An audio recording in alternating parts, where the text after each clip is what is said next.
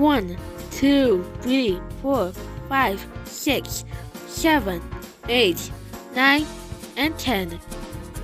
Turn up so short.